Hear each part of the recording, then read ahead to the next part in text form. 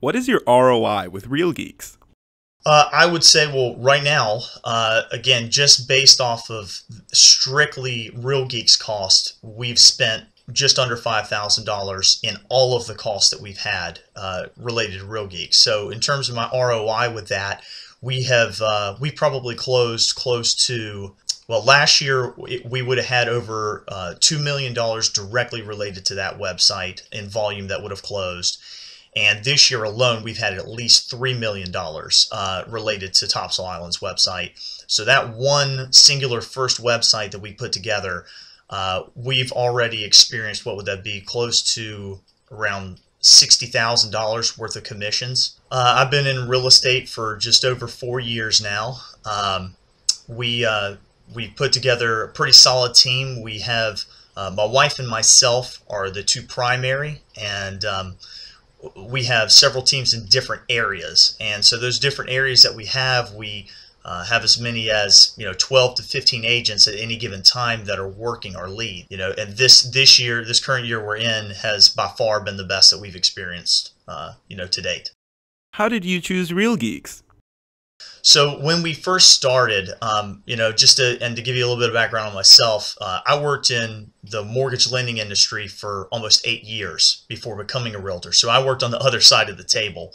Um, and so now coming into this and having worked in real estate for the last four years, uh, when I first came in and my wife first came into working, we worked as part of a team you know, we were able to familiarize ourselves with the back end of the system, uh, working the leads ourselves, and uh, and kind of building a, a solid database like most realtors do. How important is your website to your business? Of everything that we do. Uh, when I first did the very first website that I branched off and did, uh, which was my Topsail Island website. What do you like about the Real Geeks platform?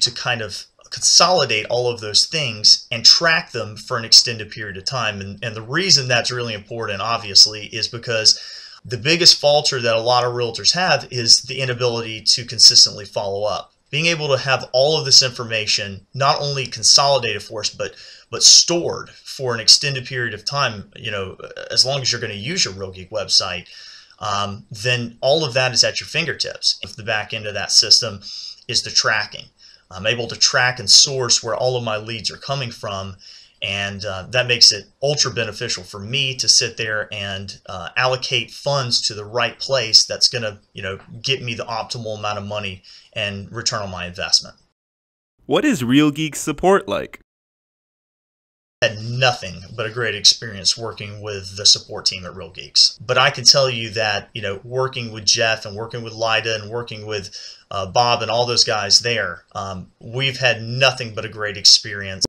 What would you suggest to someone thinking about signing up?